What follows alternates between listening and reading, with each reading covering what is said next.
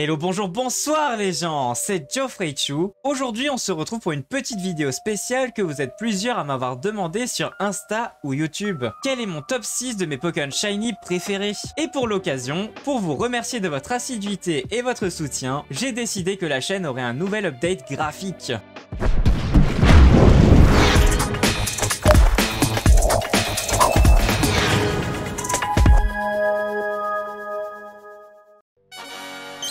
Alors vous en pensez quoi? Si vous surkiffez le nouveau style, n'hésitez pas à lâcher le petit like et me l'écrire en commentaire. En attendant, let's go pour la vidéo. En numéro 6, c'est Vipère. Un autre serpent que j'adore, mais malheureusement ne brille pas en stratégie. Cependant, sa forme shiny ne me laisse pas indifférent. Ses couleurs reflètent bien sa toxicité, et ses couleurs plus claires de ses écailles, plus ses couleurs vertes, rouges et bleues, lui donnent un look vraiment très particulier que j'aime beaucoup. En numéro 5, Noctali. Il ne change pas beaucoup de sa version non shiny, mais ce cyan qui remplace le jaune de ses anneaux rappelle les couleurs de la nuit. Et ses yeux rouges sont remplacés par des magnifiques yeux jaunes aux couleurs de la lune. Ça respecte magnifiquement bien la thématique du Pokémon et ça rend super bien. En numéro 4, Majaspic. Mon Pokémon préféré se retrouve ici à la quatrième place. Sa couleur verte principale est beaucoup plus pâle et a désormais une prédominance d'un bleu royal qui lui correspond parfaitement bien avec sa thématique de la fleur de lys. En numéro 3,